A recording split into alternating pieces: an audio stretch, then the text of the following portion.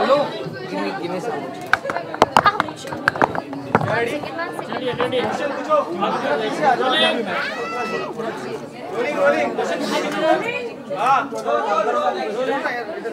Mike Cooper. Yeah, Vikram, brief us about your Yeah. Huh, tell me. Yeah, brief us about your collection. I just did.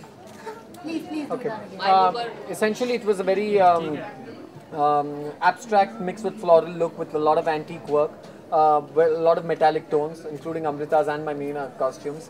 Uh, the styling was very, very uh, 60s meets uh, today. It was the blunt wigs with the uh, cut eyebrows and pink lips. It was uh, a different show. I mean, you wouldn't expect Vikram Fadnis to do this. It was not. It was a very unconventional Vikram Fadnis kind of a show. The, fa- the fabrics was some uh, jerseys, uh, satins, and tabbies.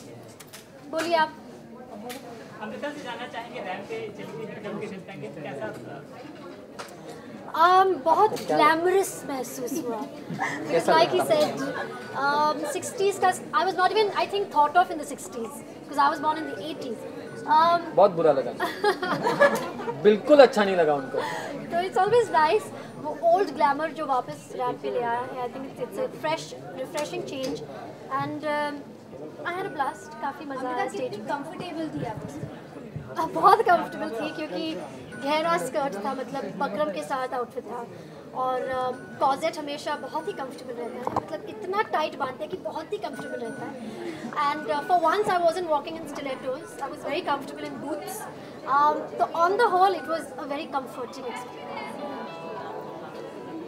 Vikram से जानना चाहेंगे? विक्रम को बहुत बड़ा complement मिल जाता है जूही और काफ़ी लोग और भी लोग आए। तो क्या कहना चाहेंगे? बॉलीवुड पूरा ऊपर पड़ता है। पता नहीं अभी अ, म, काम किया इतने साल उनके लिए तो अ, अगर अच्छी चीज़ बोलते हैं तो अ- अच्छा ही है। I mean it's it's good I mean हम मेहनत करते हैं दिन रात और अगर कोई अच्छा बोले अपने बारे में तो इट ऑलवेज फील्स गुड कोई बुरा बोलता है तो तो अच्छा नहीं महसूस होता। तो ऑब्वियसली बड़ी बड़ी बैग्स का राज क्या था? उसमें कुछ था बैग स्टाइलिंग है they're not practical bags it's it's it's it's a way of it's a way of styling didn't like it?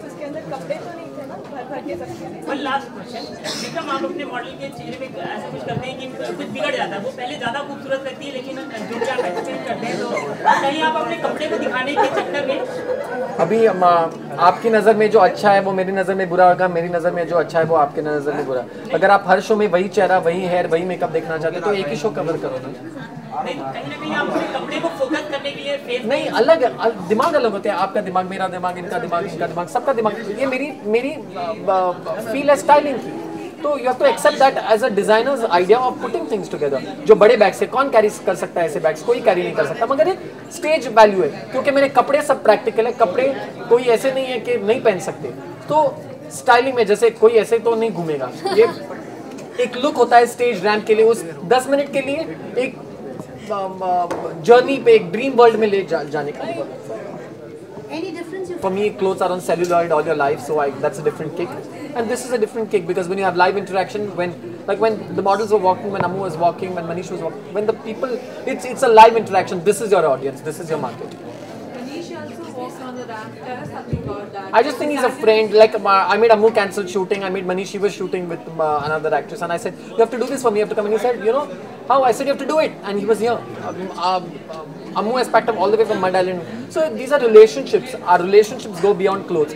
Manish Malhotra is by far one man who changed the scene of clothing in films.